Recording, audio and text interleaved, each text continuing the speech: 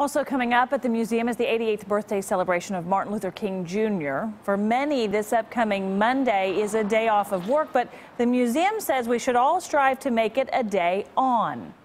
Here at the American Jazz Museum, we do connect, and it's an awesome way to tell a story. So that's why it shouldn't just be a day off. It should be a way to connect. It should be a way to learn history. The MLK Jr. Day program goes from 1 to 3 Monday. There will be poetry, art, music. Details on how to RSVP are on our news app right now.